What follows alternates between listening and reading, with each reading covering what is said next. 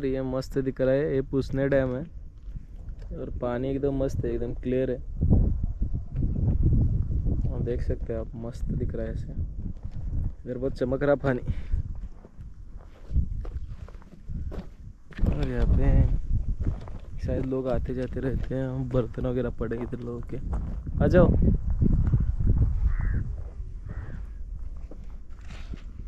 उधर भैंस थी यहाँ पे बोट है एक, यहाँ पे बोटिंग भी है।